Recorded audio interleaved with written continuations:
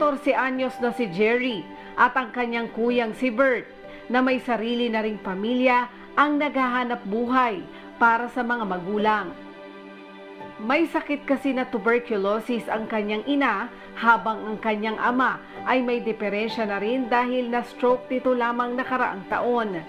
Kung kaya nakaratay ito sa higaan. Naiyak po nakikita po, hindi po nakasalit. Sumuka kayo minsan pag nag-umingi na po siya sa boss. Amo na papa ko. Amo na papa ko minsan umingi po siya. Ano, sandaan. Pambili lang po ng mga ulam. Ulam po yun.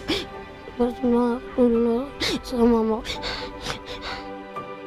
Kahit ano po namin, benta po namin yan. Para mabili lang po ng mga pagkain. Pagkakataon ba hindi kayo nakapakain? Mi- Minsan lang po yun. Kailan Di- Pag gabi po hindi rin po kami nakakait pag wala kayong pera-pera. Tutulugin na lang po. Tutulugin po lang namin. Kung magbigay ito ng ano, ng sahod niya, binibili ko agad ng bigas. Yan nga eh. Yan ang ano, yan ang problema. Mahirap yung isandaan ko, kulang na kulang isandaan. Ang maliliit na kapatid ni Jerry, paminsan ay tumutulong na rin sa pagbebenta ng kahit anong maibebenta upang may makain. Nakatira ang mag-anak sa baliit at sira-sirang bahay na ito. Sa kanilang abang kalagayan, simple lang ang hiling ng murang puso't isipan ni Jerry. Mapagaling lang po sila. Dahil ma'am ko. Huwag na pagaling po naman sa papa. Magtatrabaho rin po sila. Kaya naman hindi nagsasawa ang Members Church of God International na balik-balikan ang lugar ni na Jerry para mabigyan ng masarap na pagkain may kalakip na pag-ibig ang mga residente doon. Siyempre, hindi nakalimutan ang pamilya ni Jerry. Ipinaayos pa ng MCGI ang kanilang munting bahay.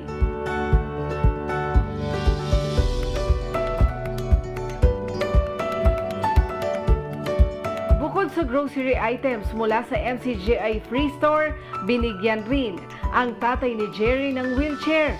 Kasunod ang pagtugon na maipatingin sa doktor ang kanyang mga magulang. Ngayon po kasi mataas po ang kanyang BP, kaya talagang bibigyan po natin siya ng gamot para po makontrol po yung kanyang hypertension. Tutulungan din po natin siya na ma-refer for physical therapy po para po makatulong din sa kanya para makabawi sa kanyang mga paggalaw. Kay nanay naman po ay may history po kasi siya ng tuberculosis so papa-x-ray po natin siya tapos ire-refer po natin siya ulit sa TB Center po para po makita natin kung kailangan niya pong ipagpatuloy yung kanyang panggagamot po.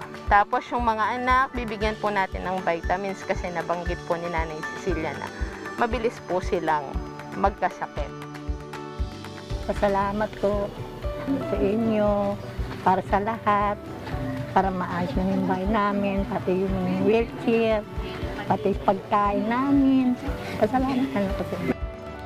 Oh, salamat po sa pag pag may tumulong kay papa ko. Tsaka kay mama ko. Salamat. Parang tulong po yun. Ang magkaroon ng isang mapagmahal na anak ay kayamanan ng mga magulang.